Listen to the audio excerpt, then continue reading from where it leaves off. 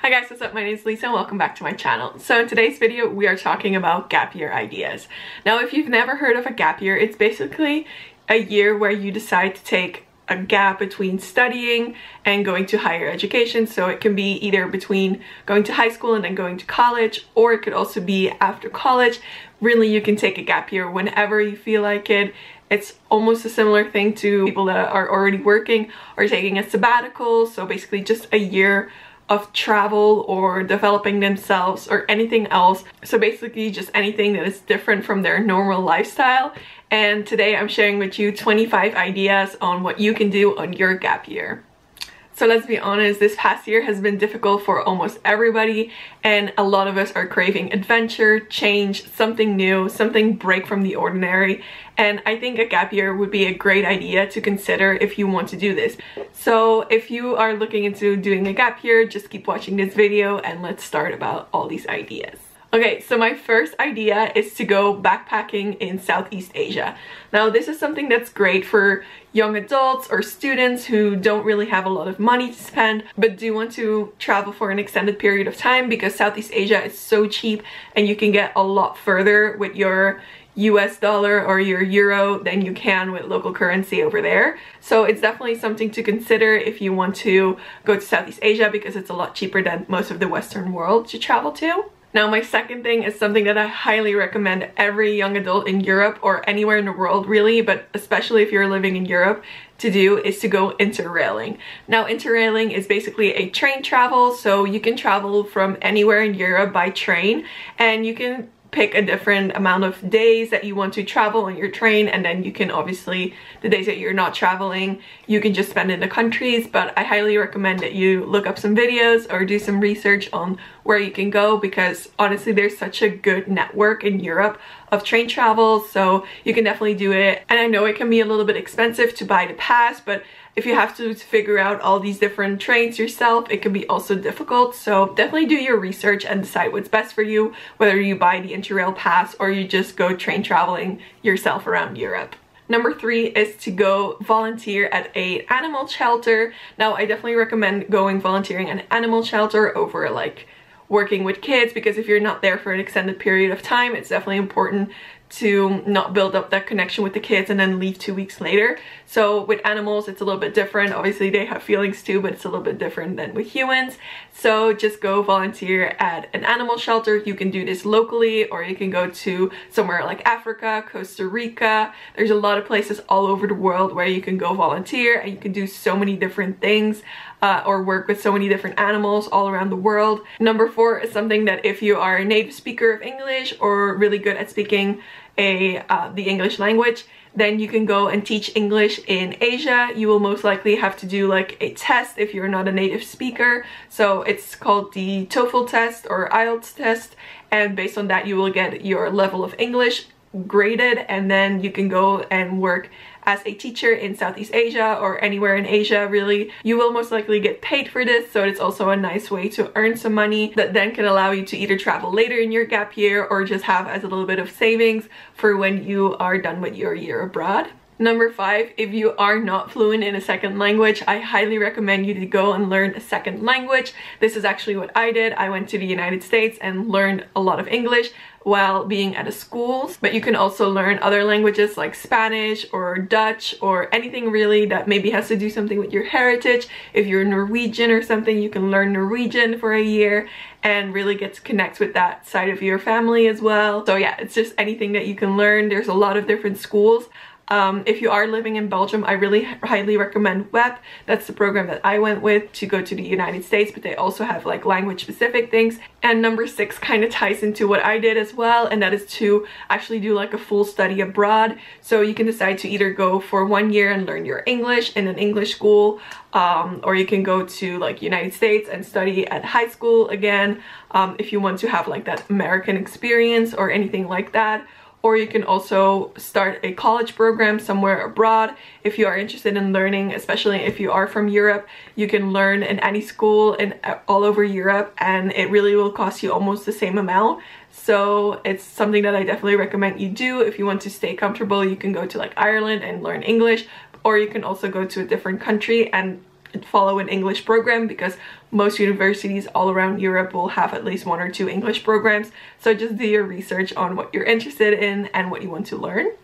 Number seven is to do a working holiday visa. So this is something that is available in a lot of different countries. I know for sure you can do it in Australia, New Zealand, Canada, but there's also a lot of European countries that you can do it in. Now I don't know specifically which ones, but I will try and either link um, some resources down below if I find some resources where you can do a working holiday visa. Number eight is to learn a new skill. So maybe you have always wanted to learn how to do sewing or you want to learn how to do photography, but you haven't had the chance to put a lot of time and effort in it. Now on your gap year, you will have plenty of time to read books, do YouTube tutorials, or if you want to invest in courses, you can look at Skillshare or any of these other platforms that are offering classes as well. So whatever you want to learn, I know there is some resources out there, either free or paid, whatever you are looking for. Something else that I really want to do one day is to go and live abroad for like an extended period of time in a warmer climate because I really love the sun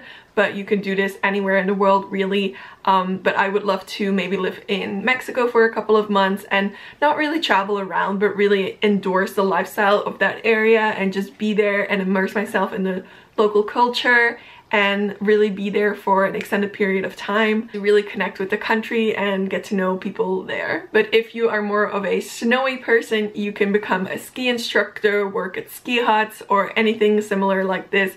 Um, you can also do just like a snowy adventure of going to like the Nordic countries for a couple of weeks. Really, there's so many different things that you can do and being a ski instructor sounds so much fun. One of my good friends is a ski instructor and she always did this in high school. She went to like either Switzerland or Italy or somewhere like that and and she would teach other kids how to ski. So if you already know how to ski then you can definitely do this. Another thing that i think would be so much fun is to go like on one of these epic road trips. If i'm thinking epic road trips i'm thinking like germany drive through like all of germany not just go to berlin but really explore the countryside of Germany or I also think about Route 66 or there's so many different routes that you can take all around the world um, that are really iconic drives and it could be so much fun to do those with friends or solo or anything like that. Now it's also really important for you to know that you don't always have to travel on your gap year. You could also start working at a local cafe and do something that maybe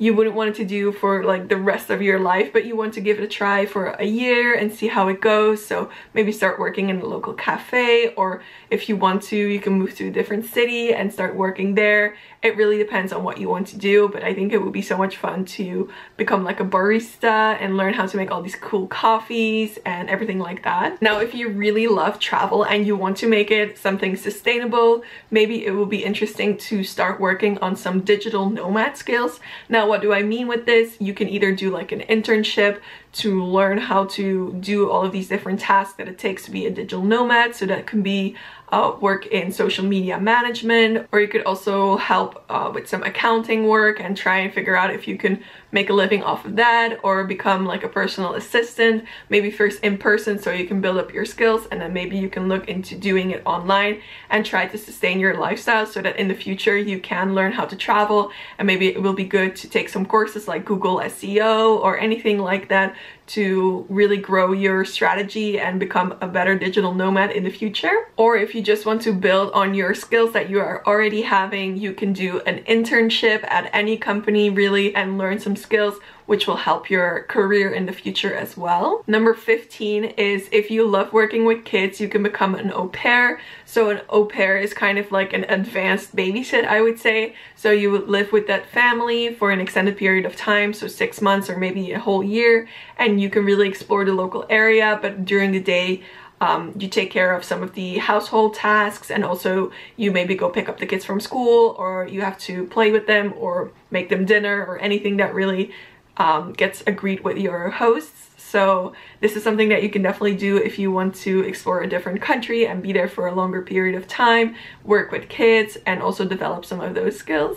Another thing that you can do is to go WeWoofing or Workaways. So these are two platforms where you can basically get a stay in return of some hours of work. So you will either do some farm work, some household work. It really depends on what they are looking for and what you want to do. And in return of a couple of hours of work each day, you get to stay there for free. Sometimes your food is also included and you can travel the local area on the weekends or really just explore during the evenings. It depends on what you want to do. So the next thing is to do Camp America or Camp Canada. This is where during the summer holidays you go and work at these camps where kids come from all over Canada or all over the US and you become a camp counselor. It's so much fun to do. I haven't done Camp America or Camp Canada, but I am a volunteer here in Belgium on youth trips as well. So it is definitely a similar experience, only for a shorter period of time. But I highly recommend if you love working with kids that you do something like camp counseling. Also, if you really love travel and you want to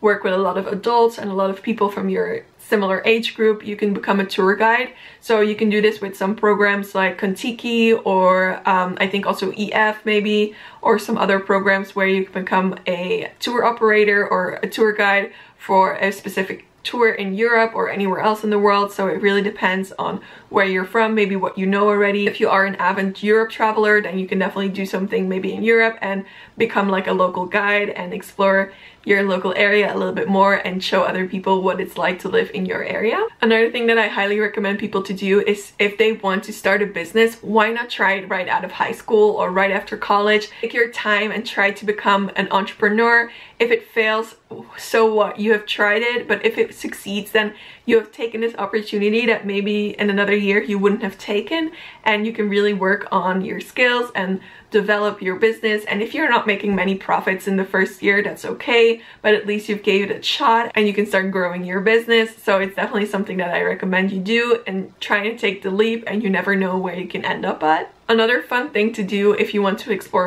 multiple countries but you also want to earn a little bit of money and start working and you can become a cruise ship employee so you can work on a cruise ship and depending on which route it's taking you can explore the countries as well I think um, definitely if you are like a tour guide on the cruise ship but also if you are just working in uh, hospitality on the cruise ship, I think you will also have a couple of days where you can leave the ship and also start exploring the local area. Another way that you can start volunteering and doing a longer program abroad is by volunteering at the European Solidarity Corps. Now, this is something that's only available for European citizens, but basically what it means is that you go and work in another European country as a volunteer and you develop your skills and you get your accommodation for free and I think also your food. So it really depends on where you're going, but you can discover one of these countries that is maybe less traveled to like Romania or I don't know, Bulgaria maybe. You can travel a lot deeper in the country and really explore what it is like to live in one of those countries. And I think there's also an American like alternative to this and that is like the Peace Corps I think it's what it's called. So you can also do your research on that and try and figure out what you want to do if you want to be a volunteer and you want to work through a program that is like well known and well established rather than just picking another volunteer program because you don't really know always what their intentions are and what the program will really be like. And then another thing that you can do that is not travel related is to work on your health and fitness. So I know it can get really busy sometimes with your work or your school or anything else and fitness can get like a little bit left behind. So if you want to work on it and become a healthier person, then maybe during your gap year, you can do this. You can take some cooking courses or you can discover the paths of veganism or vegetarian. Anything really that you want to try, you can do during your year and you can try and become a little bit healthier, start working out. Maybe you'll fall in love with a new sport, start dancing, I don't know, whatever it is that you want to do when working on your fitness, you can do during your gap year. Number 23 is to really go deep into one country. So something that I've always wanted to do is travel multiple months through one country so that you really get to experience what the country is like. So this can be either going to like a Central America or maybe South America or really anywhere in the world you can go and you can try and travel around for multiple weeks, multiple months and really get to know the country on a deeper level. So some of the countries that I highly recommend doing this in are Colombia. Obviously you have to be a little bit safe and it, maybe it's not good as your first time travel experience, but if you have some experience, Colombia is definitely a recommendation. You can do it in Mexico. You can also pick any European country that is a little bit bigger. So like Spain, Germany, um, or maybe go through the Nordic countries, anything like that. You can do Thailand or Indonesia or also Australia or New Zealand are great for this where you can really explore the country for multiple weeks and not get bored. Number 24, we're almost at the end, is to work on yourself. So I know this can be something that's maybe a little bit strange you're like, why would I do that on my gap year? But it's so important for you to work on your own skills and work on becoming more okay with who you are as a person. So this can be anything from doing some yoga, meditation, learn to live by yourself, be on your own company, enjoy your own company, anything like that can be something that you do during your gap year and it's so important because you will grow so much from it. And then my last one is to discover less traveled countries. So this can be anything from like Eastern Europe because I know for Europeans we like to stick to the West sometimes um, but really go and explore these countries that maybe weren't on your bucket list in the first place but you can be so surprised by some beautiful countries. Uh, for me personally I've been to Albania and that was like a country that before I never thought about going but then I went on a cruise ship and I explored the country a little bit and I was so amazed by its beauty and how gorgeous it was. It's definitely somewhere that I want to explore more of but there's so many other countries in the world that maybe are not on your number one bucket list but they can surprise you so much. So I highly recommend you visit them during your gap year because you will have plenty of time to do so. So I hope you guys got inspired by all of these ideas and if you are planning on doing a gap year, make sure to leave in the comments down below what your general plan is or if you have no idea yet, I hope this video inspired you a little bit more and got, gave you some ideas on what you can do. If you want to learn more about how you can start saving, preparing, and planning for your next adventure, make sure to subscribe to this channel and I post videos every week. See you next week.